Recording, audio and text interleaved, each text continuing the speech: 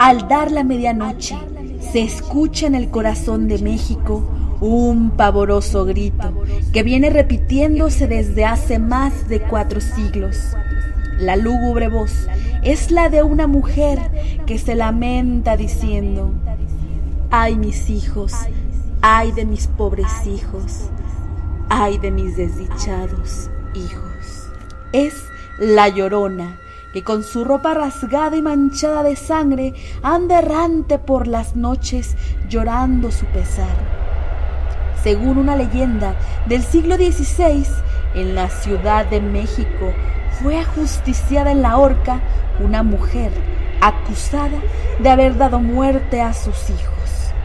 La tradición conserva el nombre de aquella desdichada Medea americana que como la heroína de la tragedia griega mató a sus hijos para vengar el abandono de su amante.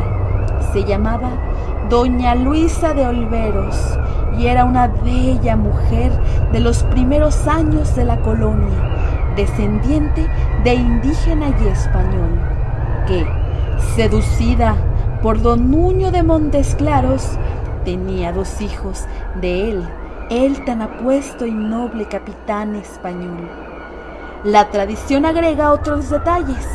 Dicen que cuando doña Luisa, cada vez más olvidada de su antes solícito y rendido amante, se decide a rondar la opulenta mansión de los Montes Claros, llega a su oído los ecos de la rumbosa fiesta en el que Nuño celebra su matrimonio con rica dama de la nobleza.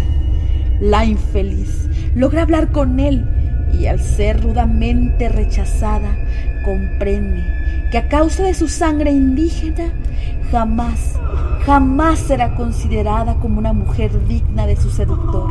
Rasgando sus vestidos y bañada en lágrimas, llega donde se hallan sus inocentes hijos, a quien da muerte en un acceso de locura, con un pequeño puñal que conserva como regalo de don Nuño.